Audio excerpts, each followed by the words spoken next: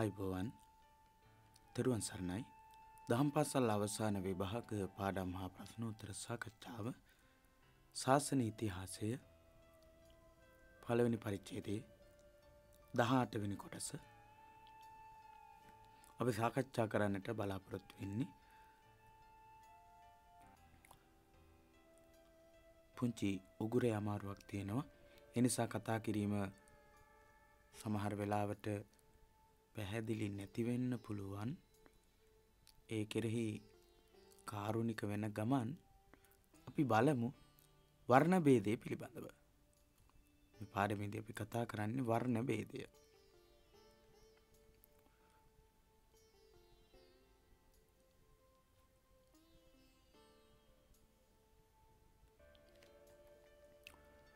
වර්ණබේදය සහ වර්ණබේදය පිළිබඳව බුදුරජාණන් වහන්සේ දක්වන්නා වූ ආකල්පය පිළිබඳවයි අපි කතා කරන්නේ බුද්ධ කාලයේ දඹදිව පැවති සාමාජික පසුබිමද බුදු සමයේ ව්‍යාප්තියට හේතුවක් විය.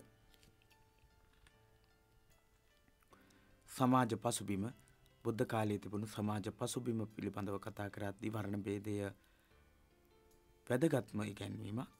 ඉතින් ශාසනික ව්‍යාප්තියට මේ කියන වර්ණ භේදයත් සමාජ පසුබිමත් හේතු වෙනවා. හේතුවක් වෙලා තියෙනවා. බ්‍රාහ්මණ ඉගැන්වීම් සමකාලින සමාජ සංස්ථාව කෙරෙහි තදින් බලපෑවේ බ්‍රාහ්මණ ඉගැන්වීම් බුදුරජාණන් වහන්සේ පහළ වෙලා හිටපු කාල වකවානුව වෙනකොට තදින් බලපෑම් එල්ල කළා සමාජයට. කුලබේදය එකල සමාජයේ පදනම විය. බ්‍රාහ්මණ ශස්ත්‍රිය වෛශ්‍ය සුද්‍ර කියන මේ කුල හතර තමයි කුල බේදය තමයි සමාජයේ පදනම වුණේ.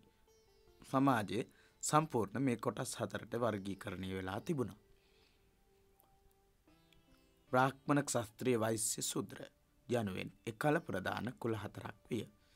බුදුරජාණන් වහන්සේ පහළ වෙන කාලය වෙනකොට මේ කියන කුල හතරම ಭಾರತೀಯ සමාජය තුළ තිබුණා. මේ එක් එක් සමාජ පන්තියට හිමි විශේෂ කාර්යන්ද තිබිණි. මෙ අපි කියපු බ්‍රාහ්මණ ශස්ත්‍රයේ වෛශ්‍ය සුද්‍ර කියන සමාජ කණ්ඩායම්වල කුලවල එක එක්කනාට වෙන වෙනම වෙන් වෙච්ච කාර්යන් තිබුණා. මේ කුල ඒ අතරින් පහත්ම තත්ත්වයට වැටී සිටියේ සුත්‍රයන්ය මේ කුල අතරින්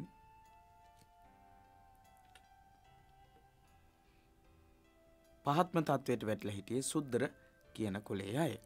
ආර්ථික සාමාජික ආගමිකව අංශයන්ගෙන් පස්සට තල්ලු වී ගිය සුද්‍රයා සතු යුතුකම වූයේ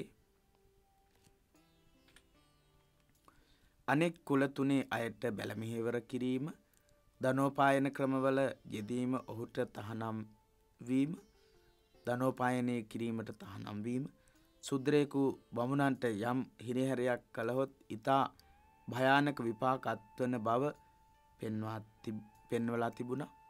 අනෙක් කුල තුනේම අයට බැලමෙහෙවරකම් කිරීම සුද්‍රයාගේ වගකීම වුණා. ධනෝපායන ක්‍රමවල යෙදීමට සුද්‍ර කුලේ අයට බැහැ. සුද්‍රයෙකු බමුණන්ට යම් හිරිහැරයක් කළොත් ඉතා භයානක විපාක අත්විඳින්න වෙන බවත් වර්ණ ධර්මවලට අනුව සකස් වෙච්ච සුද්‍ර කියන කුලේ අයට පැවරලා තිබුණු තත්ත්වය පැවරලා තිබුණු කාර්යන් තමයි අපි සඳහන් කළ එහෙත් සුද්‍රයෙකු මැරීම මැඩියෙකු මැරීමට වඩා අපරාධයක් නොවන බව බමුණන් විසින් පවසා තිබිණි. සුද්‍ර කොලේ කෙනෙකු මරණ එක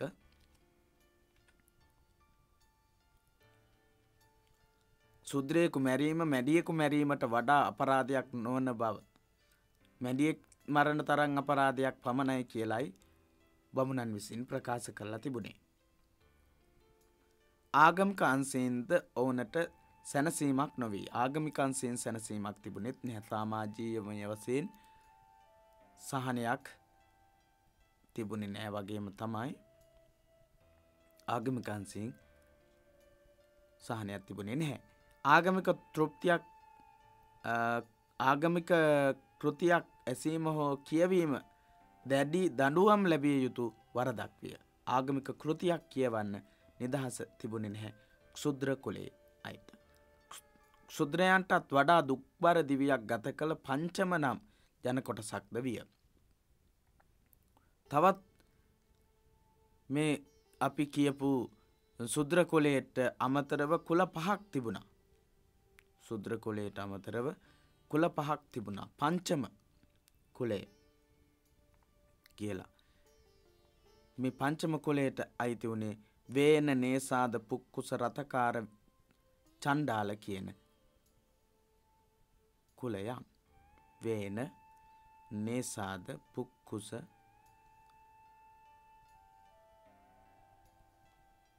පංචම කුලය දැනගෙන ඉන්නට ඕන් පංචම කුලය පිළිබඳව දහම් පසල් අවසාන විභාගයේදී ප්‍රශ්න අහන්නටත් පුළුවන්. එනිසා මේ කුල පිළිබඳව අපි දැනගෙන ඉන්නට ඕන. ඉතින් මේ තියෙන්නේ වේන නේසාද පුක්කුස රථකාර චණ්ඩාල් වේන නේසාද පුක්කුස රථකාර චණ්ඩාල කියන කුලයන් පහ පංචම කුලය. ආදී නම්වලින් එම පස්වන කුලයට අයත් වූ හඳුන්වනු ලැබූහ. සුද්‍ර කුලයටත් වඩා පහත් තත්ත්වයක් සමාජ තත්ත්වයක් තමයි මේ පංචම කුලවලායට තිබුණේ. ඔහු කුලහීනයන් ලෙස සලකනු ලැබූහ. මේ අය කුලහීනයන් විදිහටයි සැලකුවේ. කුලීන ජනයා වසන පෙදෙසක වාසය කිරීමද ඔවුනට තහනම් විය. කුලීන කියන්නේ කුලවත් අයට කුලහීන කිය අය කුලෙයින් පහත් අය. කුලීන අය උසස් කුලවලයි ඉන්න ප්‍රදේශයකවත් වාසය කරන්න වේනනේ සාධ රථකාර පුක්කුස මේ ආදී කුලවලට වේනනේ සාධ පුක්කුස රථකාර චණ්ඩාල කියන කුලවල අයට ජීවත්වෙන්න බැහැ. බෞද්ධ සාහිත්‍යයන මාතංග කතාවේ සඳහන් වන අන්දමට බෞද්ධ සාහිත්‍යය සඳහන් වෙන විශේෂ කතාවක් තමයි මාතංග කතාව. මේ කතාවේ සඳහන් වෙන විදිහට සැඩලුම් දැකීම පවා අසුභ ලක්ෂණයක්සේ ඒ කාලේ සලකලා තිීලත් තිබිලා තියෙනවා. ඊට පස්සෙ කියනවා සොහනෙහි දැමූ රෙදිවලින් විලිවසාගෙන කැඩුණු බිඳුණු භාජනවල ආහාර ගනිමින් ජීවත්වීමට ඔවුන්ට සිදුවිය. සොහනේ දමලගේපු රෙදිවලින් බිලිවහගෙන කැඩුණු බිඳුණු භාජනවලින් ආහාර ගනිමින් ජීවත්වෙච්ච විශේෂ පිරිසක් තමයි පංචම කුලවලාය. බෞද්ධ සාහිත්‍යය සඳහන් වෙන විදිහට සැඩොල් සැඩොලුන් දැකීම පවා අසුභ ලක්ෂණයක් සැඩොල් කුලේ අය සොහනේ දමාගේ රෙදිවලින් විලිවහගන්නට ඕන් කැඩිච්ච බිඳුණු කැඩුණු බිඳුණු භාචනවල ආහාරගත යුතුයි. මළමිනි ඇදීම තමයි මේ චණ්ඩාල කුලේ අයගේ ප්‍රධානම කාර්ය වුණේ. නගරයට එන විට ඔවුන් එන බව දැන්වීම සඳහා කිසියම් සංඥාවක් කළ යුතුයි. නගරයට පැමිණෙනවා නම් තමන් පැමිණෙන බව දැන්වීම සඳහා සංඥාවක් කරන්නට තිබුණා. ඒ වගේ තත්ත්වයක් තමයි සමාජ තත්ත්වයක් තමයි චණ්ඩාල කුලේ අයට භාරතය සමාජය තුළ තිබුණේ. මේ තොරතුරුවලින් පෙනයන්නේ බමුණන් විසින් ගොඩනැගු කුල සංස්ථාව අනුව. ඉතා දරුණු පීඩාවට ලක් වූ මිනිස් අයිතිවාසිකම් පවා අහිමි වූ ජනකොටසක්ද එවක දමදිව සිටි බවයි. මිනිස් අයිතිවාසිකම් පවා අහිමි කරගෙන හිටපු ප්‍රාක්්මණික ඉගැන්වීමෙන් පීඩාවට පත්වෙච්ච විශාල පිරිසක් හිටපු බව මේ තුළින් අපිට පැහැදිලි වෙනවා. බුදු දහම ඉදිරියේ කුලබේදයට තැනක් නොවීය. බුදු දහම ඉදිරියේ කුලබේදයට තැනක් ලැබුණේ නැහැ බ්‍රාහ්මණයන්ගේ විශේෂ අයිතිවාසිකම් හෙලා දුටු බුදුරජාණන් වහන්සේ උපත අනුව මිනිසාගේ සමානත්වය පෙන්වා දුන්හ. අවශ්‍යතා අනුවද හැම මිනිසෙක්ම සමානය. බුදුරජාණන් වහන්සේ මේ පැවතුණු වර්ණ ධර්මවලට අනුව බ්‍රාහ්මණක් ශස්ත්‍රිය වයිස්ස සුද්‍ර කියන තත්ත්වයට අනුව සුද්‍ර කුලේ අයට සහ පංචම කුලවලායට හිමි වෙලා තිබුණු සමාජ තත්ත්වය නැති කිරීම සඳහා කටයුතු කළා. උපත අනුව මිනිසාගේ සමානත්වය පෙන්වාදීමත් අවශ්‍යතා අනුව හැම මිනිසෙක්ම සමාන වෙන බවත් බුදුරජාණන් වහන්සේ අනුශාසනා කරලා තියෙනවා. කුලබේදය අනුව එක් පක්ෂයක් සියලු අයිතිවාසකම් ලබා ගැනීමත් තවත් පක්ෂයක් පීඩාවිඳීමත් මිනිස් බවට නොගැලපෙන හීන ක්‍රියාවකි.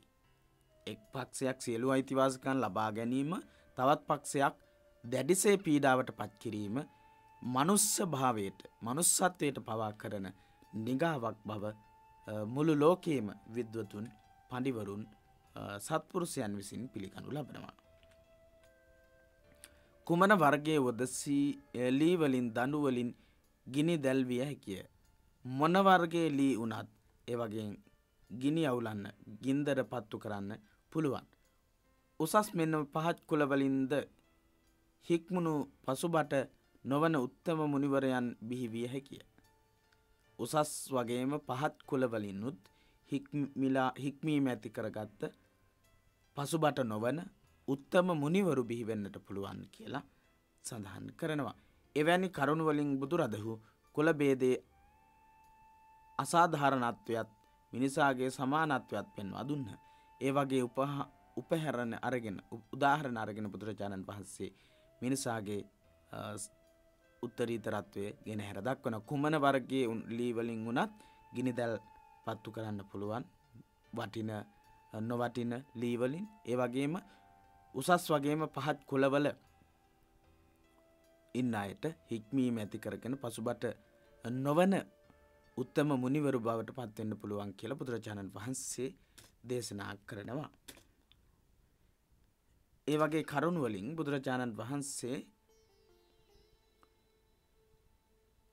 දේශනා කරනවා කුලබේදය අසාධාරණ බව මිනිසාගේ සමානාත්මතාවය පෙන්වල දෙනවා මිනිසාගේ සිල්වත්කම හා නුවන අනුව මනින විට කුලබේදේ වටිනාකමක් නැති බව බුදුර සමයෙන් පෙන්වා දෙනු ලැබී. බුදුරජාණන් වහන්සේ පෙන්වා දෙනවා මිනිසාගේ සිල්වත්කම හා නුවනා නුව මනිනකොට කුලබේදේ කිසිම වටිනාකමක් නැහැ කියලා.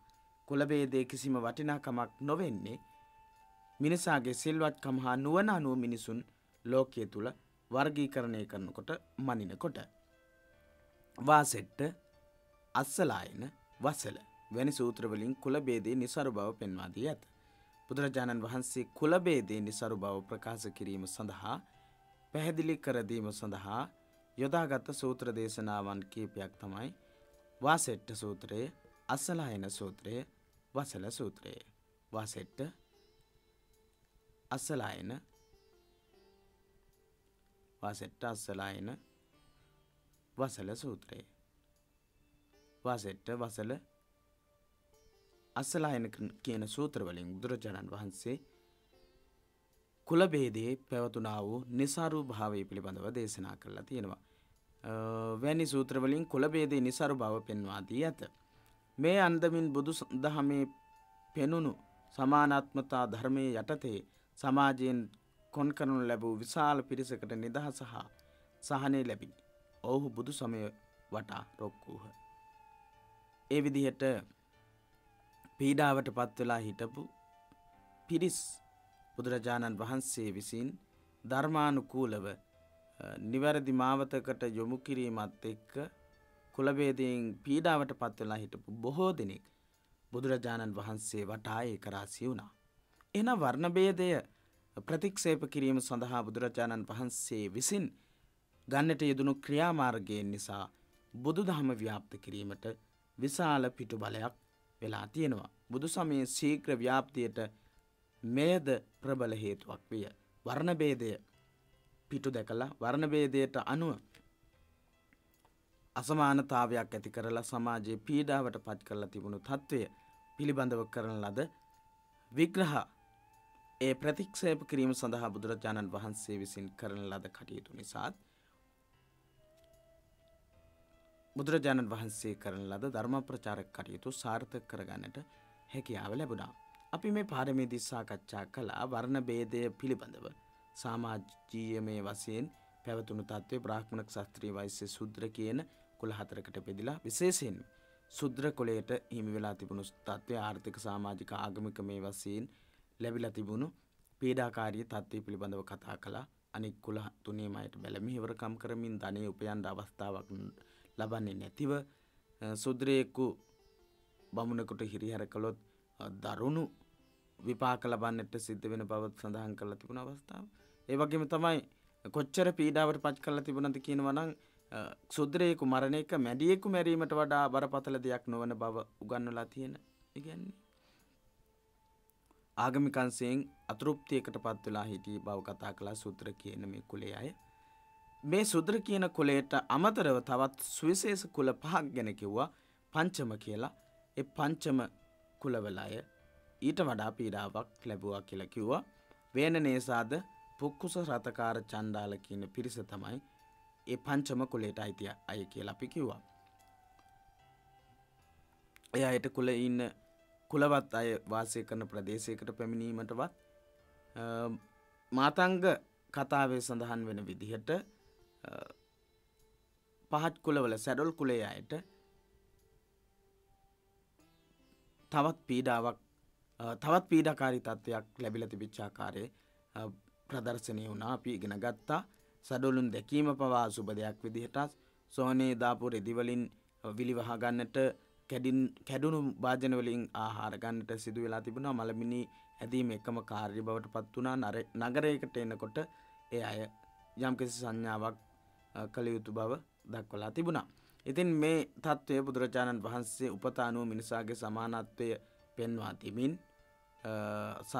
අවශ්‍යතා අනු මිනිසුන් සියලු දෙනාම එක හා සමාන වෙන බවත්